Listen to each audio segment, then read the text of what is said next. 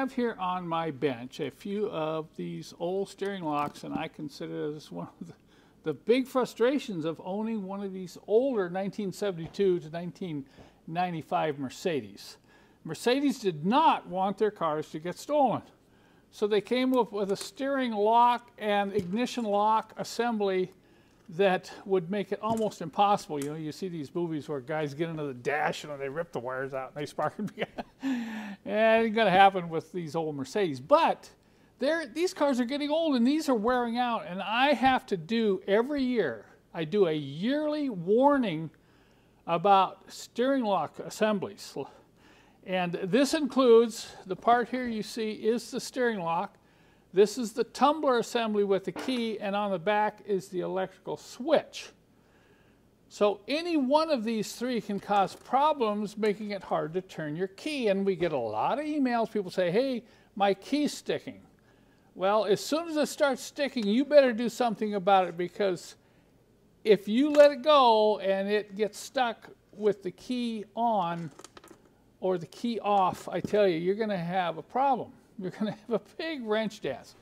So these are all steering lock assemblies out of 90 to 95 models, and I'm going to show you a few examples.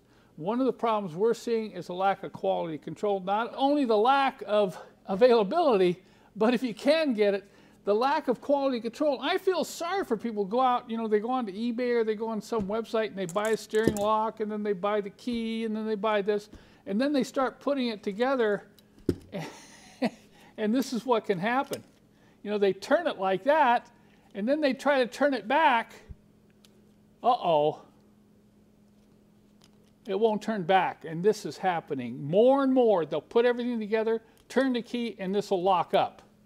You notice I don't have the black cap on here. If I had the black cap on here, I'd have to get my grinder out and cut the cap off. But fortunately, I'll be able to get it. This is going to be easy, but I can get in here and get this fixed. But when it locks up like this, see, and you can't turn it, um, you can't move the car, you can't, you, you can't get the steering lock out of the column unless you can turn the key. It becomes very difficult to even repair this or replace it. Well, first off, I want to show you what it should look like and what it should work like. Okay, you pull the key out. And this is sitting at rest, and you have the steering lock that goes into the steering column that prevents you from turning the wheel. You may be able to turn the wheel, but eventually this will drop into the, uh, the cog in the, in the shaft and it'll lock the steering.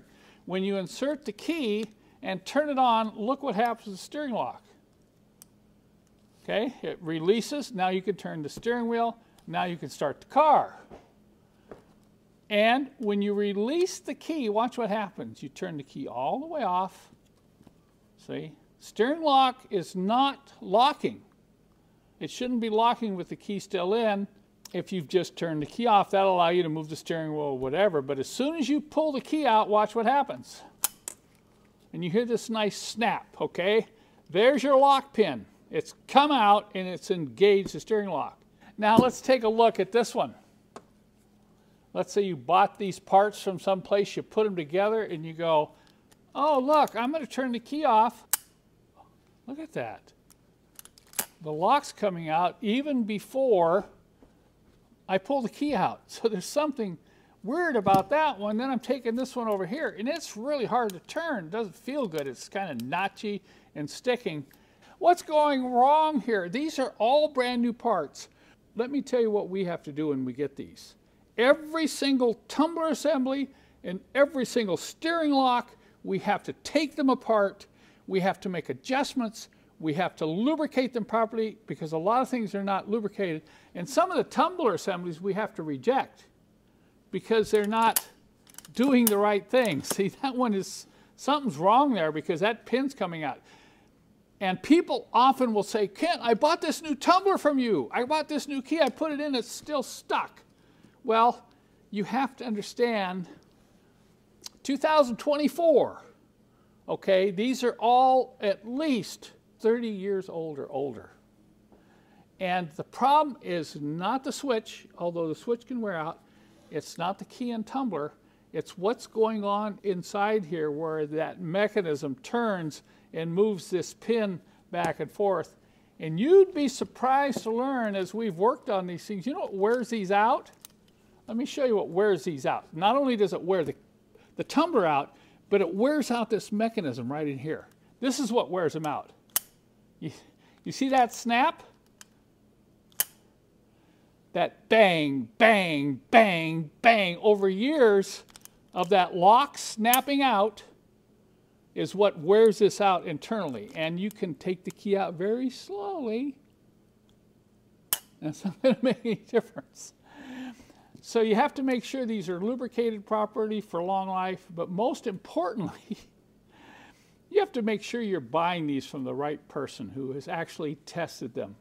Nobody's testing these, nobody's put them apart. So what we've had to do, because there's so many problems, when you buy a steering lock assembly from us, it's all complete. We won't sell you just a lock. We still sell tumblers, but we try to warn you that 50% of the time the lock's going to be bad. So we sell this as a complete unit with a steering lock, the tumbler and key assembly, and the new cap on. You can purchase the electrical switch separately.